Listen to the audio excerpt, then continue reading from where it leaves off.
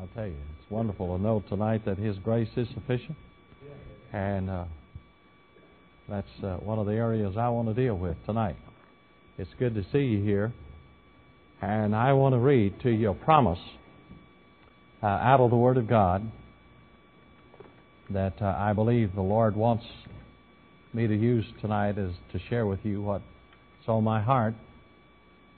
I have found in my own Christian experience through the years, uh, 31 years as an evangelist, that uh, I have a tendency to um, go through a crisis, and then uh, when I go through that crisis, I I go through several of them, and then I sort of level off, and I, I just sort of level off, and and then God has to let another big crisis come along uh, to get me to grow in it and then I level off again. And um, the Bible doesn't give us that kind of uh, uh, graphic by which we can live by, where if there is one that I know of, uh, that we're to, supposed to be a spiral, a spiral where we're constantly growing like this all the time, never leveling off like this. And so um, the reason that we do this is because we we look at the Word of God. God speaks to us the Word. He gives us the Word. And, beloved, we put it away in our mental understanding, but we never allow our lives to become consistent with that truth. And we do not experience that truth. We just only understand it. We understand it to where we can teach it to people. We understand it to where it will even affect people emotionally. But beloved, when a man when a man faces the Word of God and responds to the Word of God, that man's life is changed morally. And that man's life is changed to, it is conformed to the image of that Word. You don't take the Word of God and make it your slave. You take your life and you make your life a slave to the Word of God. And, and what we need to do is to take the Word of God and let it judge us and let it correct us and let it enlarge us and let it bring us to the level of uh, its teachings. Because if you don't do that, uh, you have actually missed the objective of the Word of God. It's amazing about God. He never said anything so perfectly without, uh, without any questions that you do not have to trust Him. And yet he said things so perfectly that, my dear friends, it can correct you and enlarge you and sanctify you and make you like you're supposed to be. That's right. God never said in the Bible not to smoke cigarettes, but He said enough that you can get disturbed about it. Amen. That's amazing, isn't it? That He didn't say stuff like that. Well, you and I have to watch the Word, and tonight, as I deal with this passage, now, this is a passage that I trust you will let God deal with your heart. I promise you, if you'll let God deal with your heart from the Word, and you will so, obey the Word, then God will not have to deal in your circumstances to bring you to the place where you'll have to obey the Word. Yes, sir. Any time, my friends, God has to work in your circumstances to bring you to the place to obey the Word, it's because you've been spiritually dumb when He's taught you the Word. Yes, sir. That's right. And so God wants us to see the Word tonight, and this is a passage that um, that I, I can't get over. And I love to preach on things I'm trying to work out and work in and work through. And this is a passage that I cannot work out of, get out of, and I want to leave it with you tonight. It's found in the uh, book of Second Corinthians, the ninth chapter, the eighth verse. Now, I want you to look at this verse. In the King James translation, it says, And God is able to make all grace abound toward you, that you, always, having all sufficiency in all things, may abound to every good work. Beloved, that is one of the most profound promises in the Bible. I want you to just look at the God that's making this promise to you tonight for just a moment. He's the God wherein there's no variableness. There's no shadow of a turn, no shadow of turning. He's not man that he can lie. He can't lie. He can't lie at all. There's no shadow of turning. There's no variableness in him at all. The God that made this promise to you and me tonight is the God that knew you and me before we were substance. He knew us before we were substance. In fact, He wrote down in a book just exactly what you'd become because He knew you so well before you were substance. He wrote down in a book exactly what you'd become and then turned around and laid it out, His will for your life and my life, and left us responsible to living up to it. And then He turned around and said, I'm going to give you grace to enable you to do it. Now, folk, you dealing with a God like that, you can't be going wrong. The God that was able to open up the Red Sea by the breath of His nostrils. Amen. That's the God we're talking about tonight. We're talking about the God, my friend, that when his presence went by in his people of Israel, the Bible says the mountains skipped as lambs and the water fled. That's the God that made this promise. That's right. It's that God that made this promise. And He said, and God is able to make all grace abound toward you that you always, I love that always, having all, I love that all, sufficiency. In all things, I tell you, is there any place left? I like the encompassing limits of this, uh, boundaries of this verse. You say, what do you mean? Well, he didn't say God is able to make all grace abound towards you as long as you're under 65. Amen. I'm going to tell you something, folk. This verse is my retirement plan. Amen. He didn't even say 95. He said all sufficiency. Always. Under all circumstances, folk. I tell you what, you can retire. It would be safer for you to retire on this verse than it would be from the Texaco company. Now, I'm not kidding you. I mean, folks, this is the Word of God. This is a God that runs this thing saying, My grace. God's grace. I mean, it's something He didn't say till you got 65. I love it. Amen. And by the way, He didn't say, He didn't say if you're well. Uh, my grace is sufficient as long as you're well. He didn't say that, folks. He said, My grace is sufficient. My grace is able, under all circumstances, under all situations, always sufficient in everything. And my dear friends, he didn't say, as long as you are a well, a well person.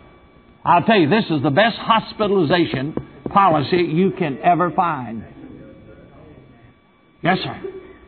Now, God may use a hospitalization policy, but folk, I'll tell you, this is a good underwriter here. Yes, sir. All sufficiency in all things. He didn't say all sufficiency in all things always if the oil prices are good. That's right. He didn't say all sufficiency in all things if there's not inflation on. Now, folks, this is the Word of God. God said, did you hear it? It says, God is able to make all grace abound towards you, that you always, having all sufficiency in all things, may abound to every good work. It doesn't have any kind of limitation on it whatsoever. I mean, there's not one limitation on this promise. I mean, absolutely not one limitation. Now, you may not hear me tonight, but one day you'll hear me. One day you'll remember, my dear friends, a preacher talking about the most encompassing promise to mankind from the Almighty God. And I'll tell you, it's all sufficiency in all things. That's right. This, this, this verse does not take in any kind of limitations whatsoever. I love it because it defines how wealthy a saint is supposed to be. You know, this crowd today preaching, uh, uh, name it and claim it, and if you're right with God, you're rich. You hear all of that stuff over the television? I'd like to see those jaybirds go to India and preach that same message. I'd like to see those people who are lying on the Word of God go to Russia and preach the same message. And go to China. But I'm going to tell you something, folks. You can go to India, China, or communist uh, countries anywhere in the world. You can go any place you want to and preach this. All sufficiency at all times, in all situations. I mean, folks, this will work anywhere. Amen. Amen. And this crowd that says, boy, if you'll just get right with God and God will make you rich, you know what they're talking about? They're talking about dollars and cents. But this verse is talking about dollars and cents plus. It's like back years ago, a man came to me one time and he said, Brother Manley, I'd like to put you on a $30,000 a year salary. About 30, about 27 years ago. He said, I'd like to put you on a, a $30,000 a year salary, quite a salary back in those days. And I prayed about it, and I said, I can't do it. He said, Why? I said, Because you're only worth one million, and I might need two. You say, What in the world are you talking about, preacher? See, folks, if you're resting on this verse, it says all sufficiency at all times, in all places, and I've got news for you, folk. A million dollars don't even start it. You say, I don't understand what you're talking about. Let me just give you a little, a sweet note of what I'm talking about. Last Sunday, uh, Saturday, my son and I, John, uh, flew down to uh, San Antonio, Texas. And I preached twice Sunday morning at Castle Hills Baptist Church. And we had came back to the room, had lunch, and and took a rest for a few minutes, and then went to the airport. And when we got to the airport, uh, we realized that we had a 30 minute delay, just 30 minutes to make our flight in Dallas. Well, my dear friends, we got to watching this thing change, and the plane we left San Antonio on was not going through to Oklahoma City, where we were headed. And that plane in San Antonio turned up being an hour late. And I looked at John and I said, John, I said, back when your dad was a young man, I used to live very daringly. I used to plan meetings stopping on Sunday morning and starting on Sunday night. And I said, all over this country, God worked a miracle, one Sunday after another, to get me to that place by Sunday night. And I said, John, I said today, this plane says it's, it's an hour late. But I said, I want you to see God literally take control of this total airline and get us to Oklahoma City in time to preach Sunday night. Little old John, he didn't know what to say. He, here his daddy was telling him God is sufficient to literally control an airline an airline where the airplanes cost millions of dollars. And I said, son, you just watch it. And I'll tell you, we left San Antonio one hour late. And we got in Dallas. And when we got in Dallas, the plane that was go- to go to Oklahoma City was sitting there waiting. Usually, when you're way late like that, they'll go ahead and give you seats away. And there was the chairman of the board of deacons of the church where I was headed to, in Del City, he and his wife, wanting to get on that plane because there was two seats on that plane and the people wouldn't let them because they were waiting on John and myself to get to that plane so we could get home. Little old John's eyes got big as saucers, folks. But let me tell you something.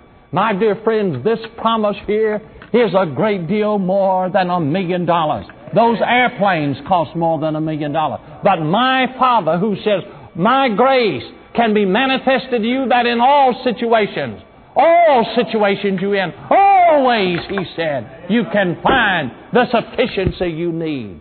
My dear friend, listen, you talking about a promise. Brother, you talking about a promise. That's something else when you start looking at this promise. And I'm praising God tonight, friend, that it, there's no limitations on this promise. When you start that always business and that all business, that includes everything. And God's promise is to you and God's promise is to me right here tonight. Yes, sir. Are you talking about a promise that you can hang your hat on under any kind of situation you have ever, ever, ever found yourself in? This is absolutely a promise you can depend on. Now, what I want you to do tonight is see the context of this promise for just a moment. Paul was writing the church at Corinth. And he had obviously shared with the church at Corinth that the people at Jerusalem needed some help financially. And this crowd at Corinth obviously got up and began to brag about what they were going to do. That's right. They began to brag about what they were going to do for the church at Jerusalem. And so time obviously had passed. It looks like about a year almost had passed. And Paul wrote this church at Corinth and said, Listen, I'm going to send a couple of fellows over there. And I have bragged about you all over the country. And especially to the church at Macedonia, I have bragged about what you're going to do. And you have mouthed off. In other words, he said, you've sort of mouthed off about what you're going to do. So I'm sending these couple of fellows over there to help prepare you. And if you don't do it, they're going to wring it out of you. That's right. They said they're going to wring it out of you. Now, Paul kept on talking to them. He said, Now the church at Macedonia, the church in Macedonia has really laid down the pattern that I want you to see. And this verse, this promise is made in the context of this message to the church at Corinth. And here's what Paul said about the church in Macedonia. He said, These people have actually given out of their poverty unto riches. Now, the amazing thing about it is how he has dealt with it. He said this crowd down there at Macedonia first gave themselves. Secondly, he said they have given what they could afford to give. And thirdly, he said they have been able to give what they could trust God to provide to give. Now, Paul is saying in this context, in the context of the fact that people have given themselves, they have given what they could afford, and they have given what they could trust God for, in that context, he is making this promise. This is the promise that I have read to unite. God is able to make all grace abound towards you, always having all sufficiency in all things may abound unto every good work. My dear friends, during this day and time, people obviously are so blinded by the devil that they actually think they can walk in on the great promises and blessings and benefits of God without having to face the issue of coming to the end of themselves and letting God be God in their situation. But that is not possible, my friend. You cannot leave the cross out of your life and get in on what God's got for you. And this promise tonight is made to me and you. What an awesome promise. What an abounding promise. What a unique promise. But my dear friends, in the context of this promise, you first must realize that the people he's sharing this message to must be people who have first given themselves. Man runs around in a conference like this and other meetings and say, Oh God, if you'll just show me what to do, I'll do it. I do not find anywhere in the Bible that God promises to meet people on that level. You say, what do you mean? Romans 12, 1 and 2 says, I beseech you, brethren, by the mercies of God, that you present yourself a living sacrifice, holy and acceptable unto Him, which is your reasonable service. Be not conformed to this world, but be ye transformed by the renewing of your mind, that you may prove what is that good and acceptable will of God. In John 7 17, the Bible says, The man that wills to know the will of God shall know whether the gospel is of the truth or not, or whether the preaching is of truth that they hear.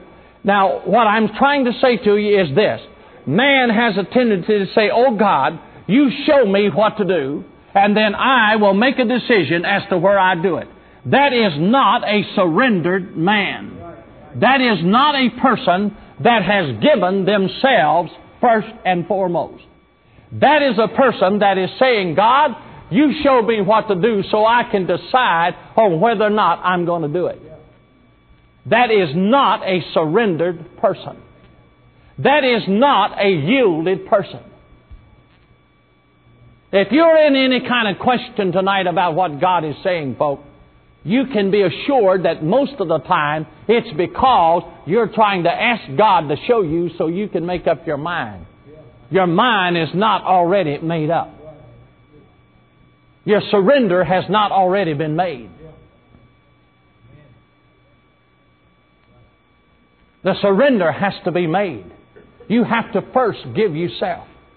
You have to completely take hands off of your life.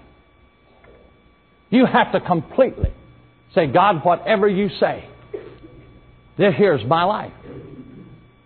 I like this illustration. I've used it for years. A absolute surrender is man taking a clean sheet of paper and signing their name on that sheet of paper and turning it into God and said, Now, God, here's my life. You write on it what you will.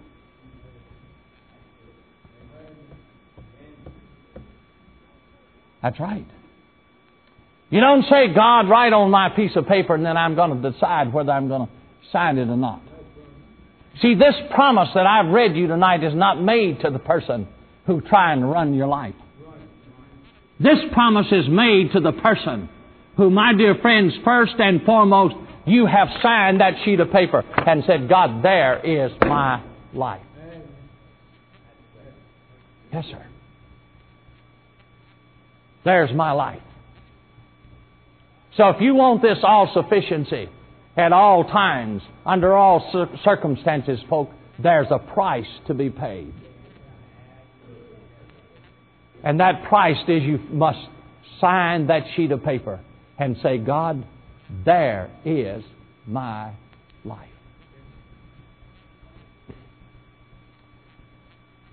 Yes, sir. See, if you want to experience this verse, if you really want to live in the all sufficiency, you want to know God and live in the all sufficiency always under all circumstances, you must come to that place of that absolute surrender. And that is giving your life to Him. And if you're not willing to do that, my dear friend, you can be assured that that verse is not applicable to you. You'll not experience it. You want that all sufficiency at all times under all circumstances?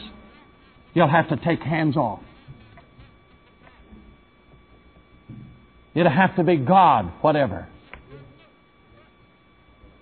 Yes, sir. That's right. Yes, sir.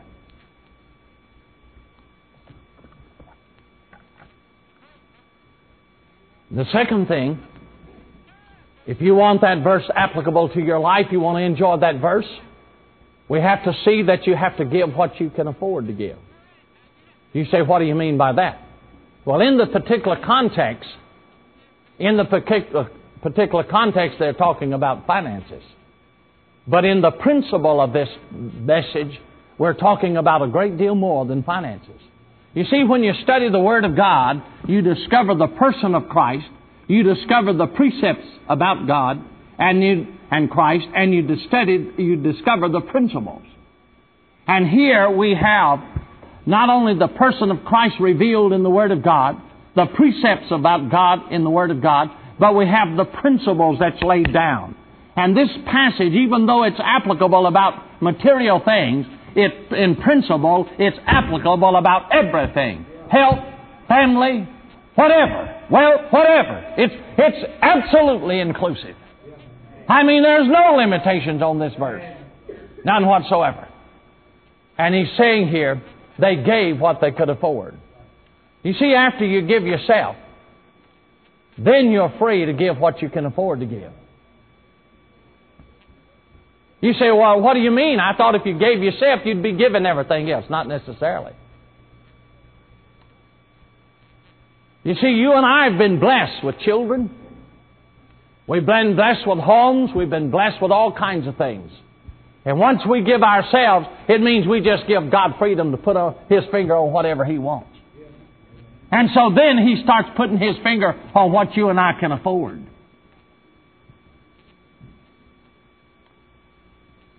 Amen. And if you want to get in on this blessing, folk, you've got to not only say, Here's my life, you've got to be willing to say, Lord, point out what I can afford. Back years ago, Dr. C.L. Culpepper, who died about six weeks ago, went to China. He signed a sheet of paper. He gave his life for China. And he was out there in China, and one day he rode out of a town on a horse. And as he started riding out of that town on that horse, he saw a pack of dogs dragging some little object. And as he looked closely, it was a body of a child.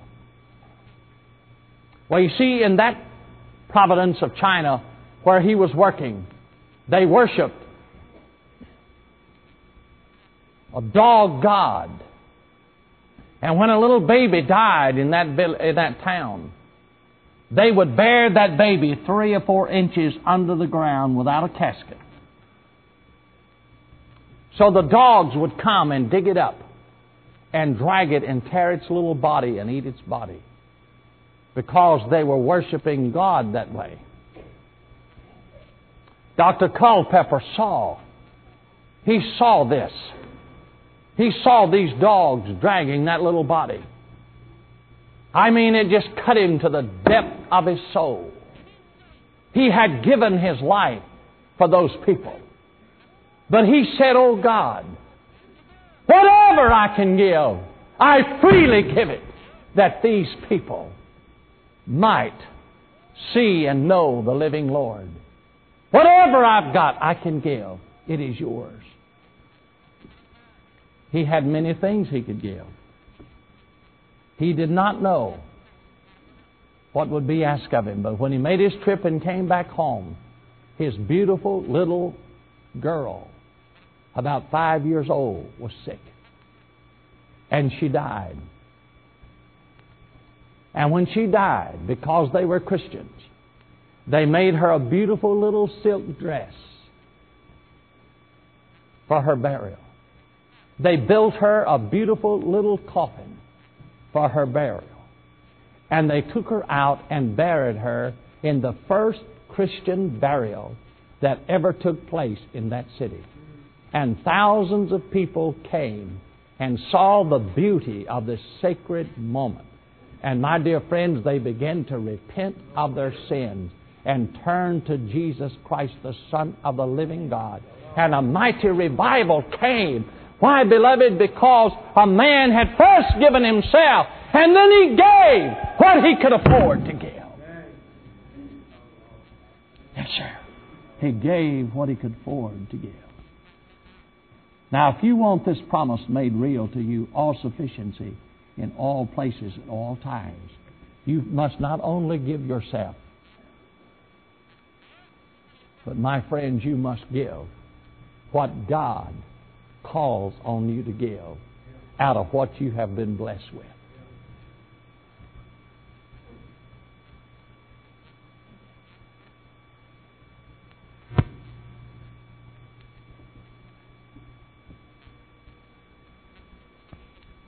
Now, folk, we're getting down to business.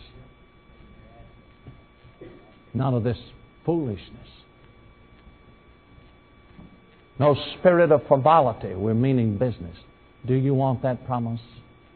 Do you want that promise, all sufficiency in all times, in all circumstances? Do you want it? Do you really want it?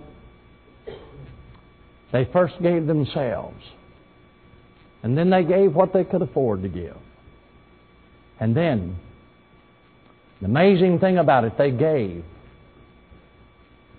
what they could trust God for. You say, Brother Manley, what do you mean by that? Well, obviously, from uh, the study of this chapter, these two chapters, uh, 2 Corinthians 8 and 9, that the people of Macedonia that were living in poverty learned how to give themselves and then what they could afford, and then they learned how to tap the resources of God. They learned how to tap the resources of God. Where, my dear friends, they were not limited by what they could, what they gave when they gave themselves and what they could afford. They were only limited by the resources of God Almighty. Amen. By faith, that therefore the only limitation they had was the heavenly will of God and God's ability to supply. And he told the church at Corinth about how they did it. A few months ago, a few months ago, I read that Dr. Oswald J. Smith had died. When I was a young, young man, I used to read his books. And people wonder sometimes how God has blessed me. And one of the things that blessed my life out of Dr. Oswald J. Smith's book is when I was a young man, 19 and 20 and 21, 22, on up till I was 30 years old, so influenced by Oswald J. Smith that when a holiday came like Thanksgiving, rather than go and play and frolic around and satisfy my flesh, I would go and fast and pray every holiday. And Dr. Oswald J. Smith had challenged me to do that. And I would give my life to fasting and praying on those holidays. And uh, it really, really upsets me today when I see the, the moment some of these young boys that call themselves preachers of the gospel, the first thing they do when they get free of a service is run, grab some stupid ball and go out and want to play ball and all of that junk. It really shows you, folk, where people's souls are and where people's attitude is and what they understand about the eternal things of God. Amen. My dear friend, I love that man. He ministered to me through his books. And then one day, right here at this place, I got to meet that man. I don't even know how old he was when he was here, but oh my, he was so old. But I got to meet him right here. He was right here. He came to my house. And uh, I, it was just such a blessing to know this man. This article, when I read this article about him dying, I thought about all those years. And you know what is said in that article? Listen to me carefully. It said in that article that this man, in his lifetime as member, as pastor of the People's Church, Ontario, Canada, that church and that church alone gave $248 million to missions.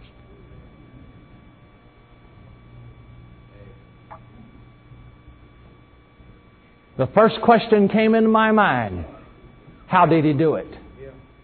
How did he do it?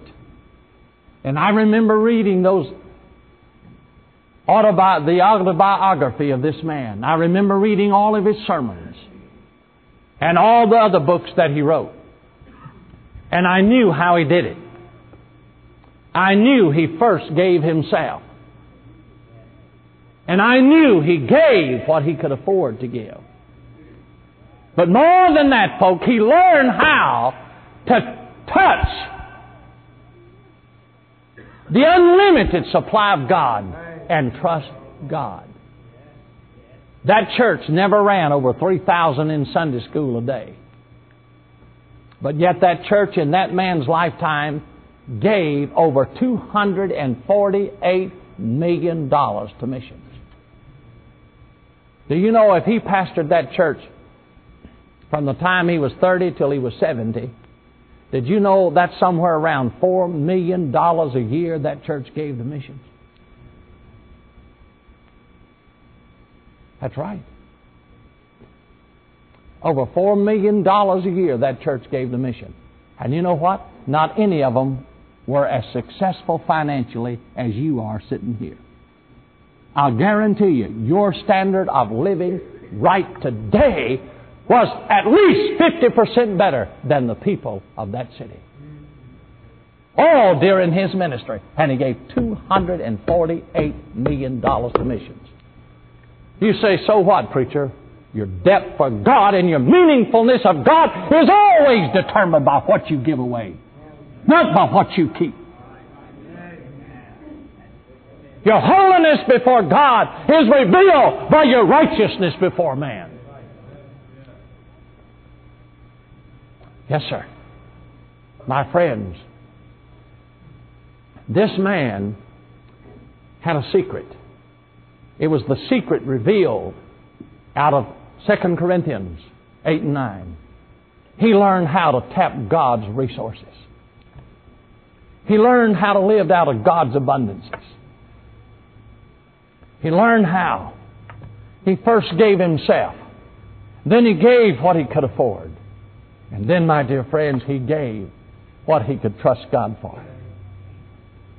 They used to have those fabulous missionary conferences where they would have the missionaries in and they'd send a card home with every member.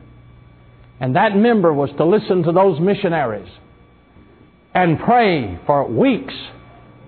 And weeks they would pray and they would come back having signed those cards saying, This year I'm going to trust God for this amount of money and this amount of money to give. I do not have it, but I will trust God for it.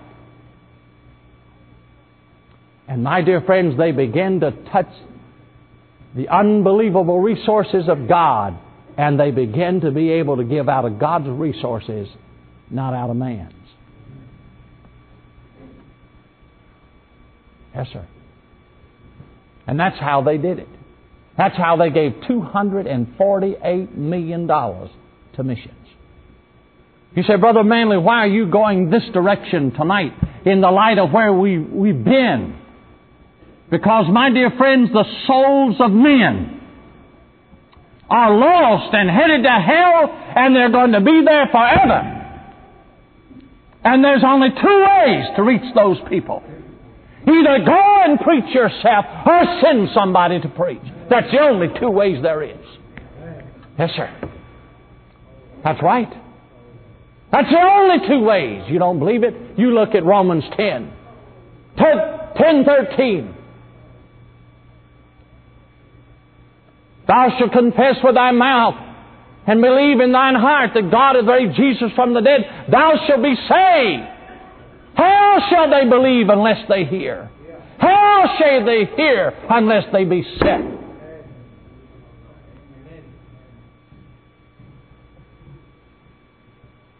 That's right.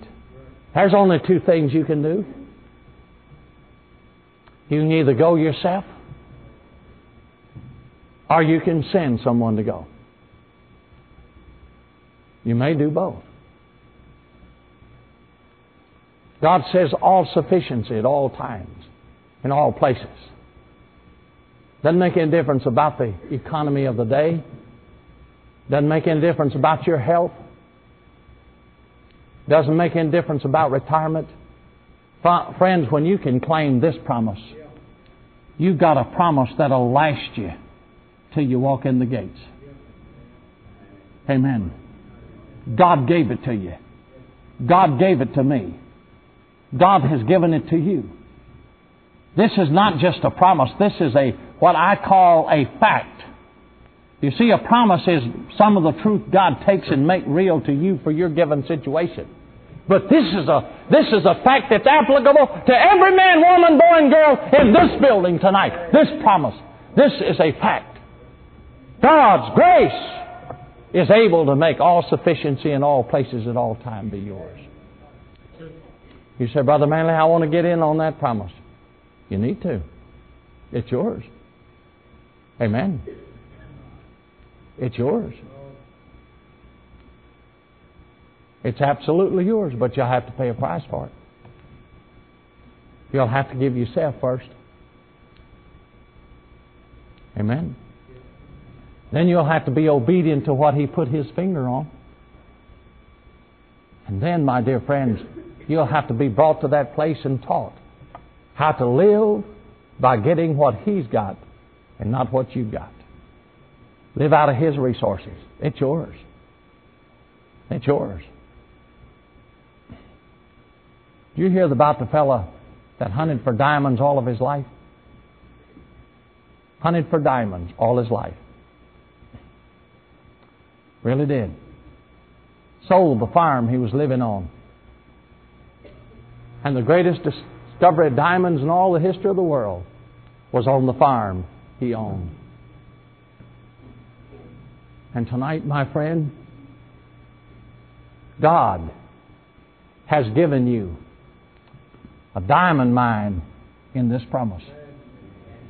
I mean, it's the Word of God, folks. It's not my opinion.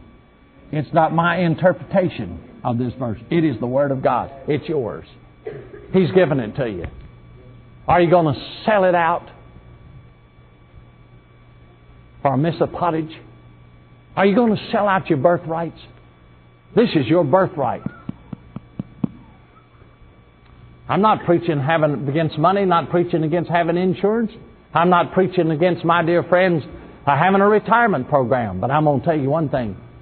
If the underwriter hasn't underwritten your program, your program will dry up. But this one won't dry up. It doesn't make any difference what happens. It doesn't make any difference where you are. This promise, this fact will go with you wherever you go, whatever you do. It'll go with you. I, I tell you, I can't say enough about this, this verse. All sufficiency, always, under all circumstances. A little hard to get a hold of, isn't it? Amen? Just sort of hard to get a hold of. But there'll come a day when you'll have to say, God, there's nothing else I can do. That's right. But cling to you. You don't think you have that occasion coming in your life, but it will. Amen. It will come. I don't care how much money you save up, it'll still come. Amen. I don't care how healthy you try to keep your body, it'll still come. I don't care how secure you try to keep your family, it will still come. I don't care who you are, friends. I don't care what you are tonight. I'll come a day when you will need this all sufficiency at all times, in all places. And friend, you have no right to it until you have first given yourself until you have been obedient to what God has said do. Until you have learned to trust Him as the source and only source with all of His unlimited resources. And when you got there, folk, then this promise is yours. This message is yours. It's yours to experience and live by and live in it lavishly. Amen. But until then, you have no right to it whatsoever. Would you bow your heads with me, please?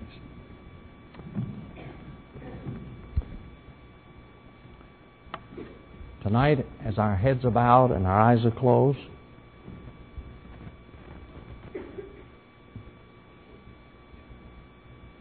All I have tried to do is take a verse out of the Bible and hold up its standard before you.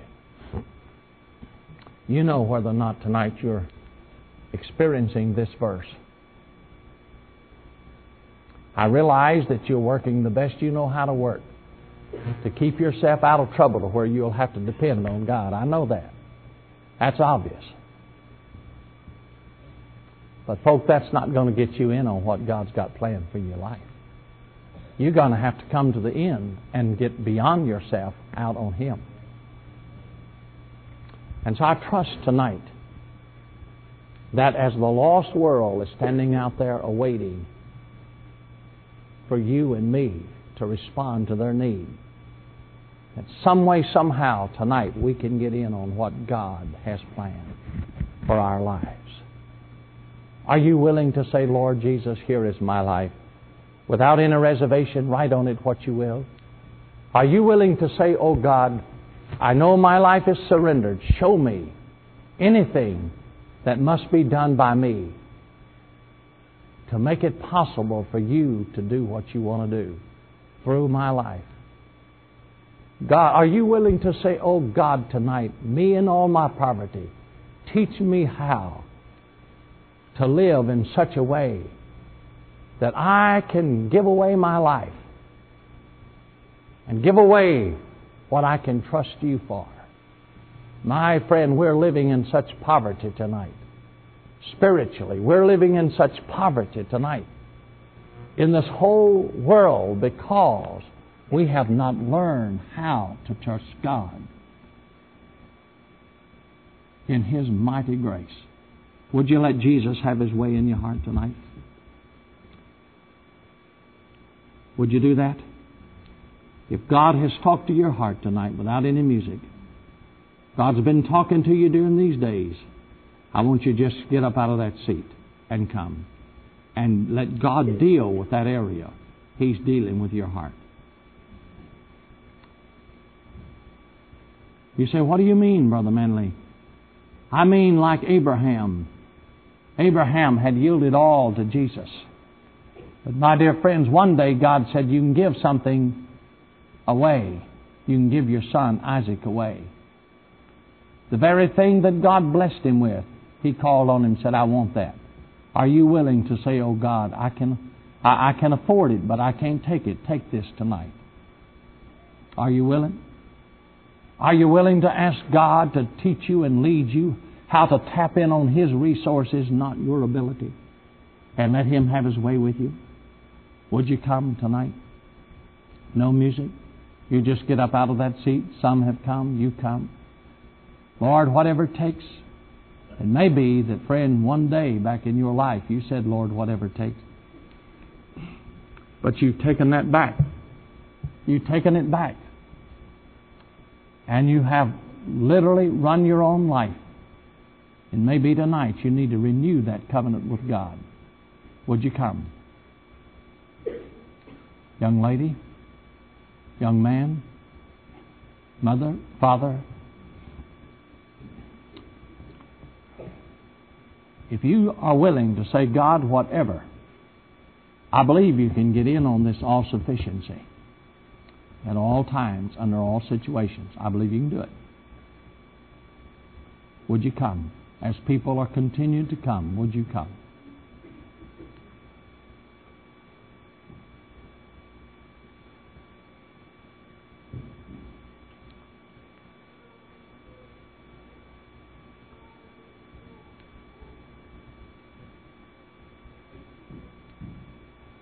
Would you come tonight?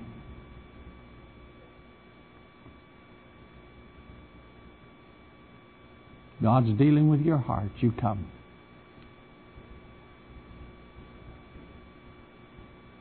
Sign that sheet of paper. Say, Lord, here's my life.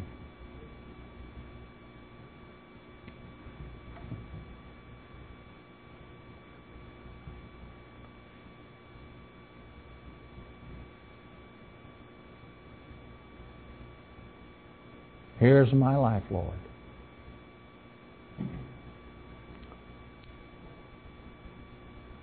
Brother Jimmy.